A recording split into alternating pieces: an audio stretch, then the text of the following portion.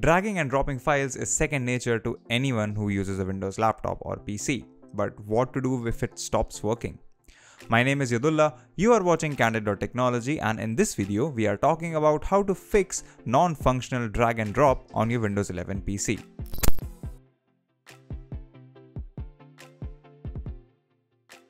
One of the easiest ways of fixing uh, drag and drop issues on Windows 11 is uh, running the dism command on Windows PowerShell. So to do that, just open the start menu and search for PowerShell. Make sure that you launch as wait, what happened?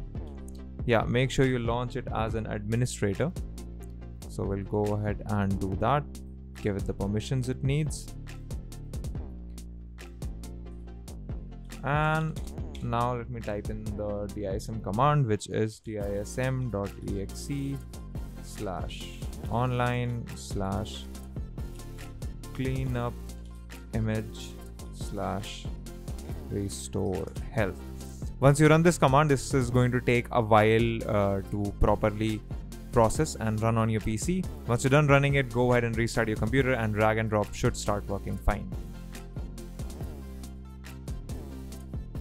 The next solution is a little bit unorthodox and uh, honestly I don't even know how it works but if you go ahead and search for user uh, account control settings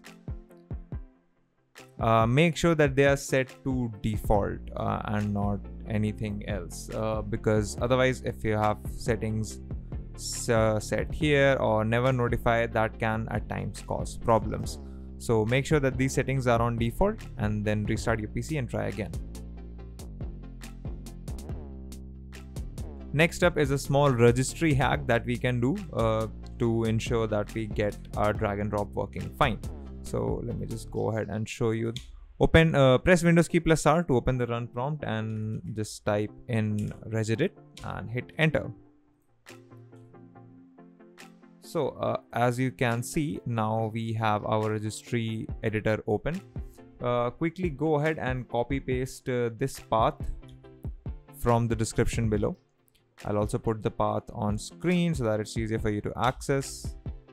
All right, in here you will see uh, this flag called enable Lua and it's currently set to 1. What we have to do is just double click it, set this value to 0 and then click OK.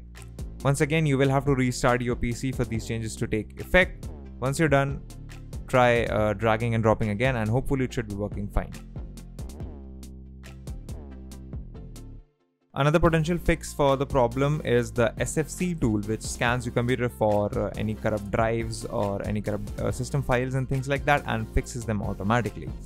To run it, just uh, press the start menu and search for command prompt.